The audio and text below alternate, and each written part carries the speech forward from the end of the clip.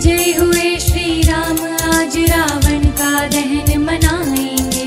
छोड़ बुराई, आज एक विजयदशमी मनाएँगे। विजय हुए श्री राम आज रावण का दहन मनाएँगे। छोड़ बुराई, आज एक विजयदशमी मनाएँगे।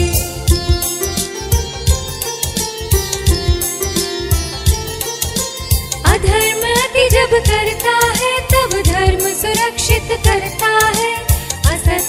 जब लगातार, तब सत्य स्वयं पथ धरता है। अधर्म अति जब करता है, तब धर्म सुरक्षित करता है।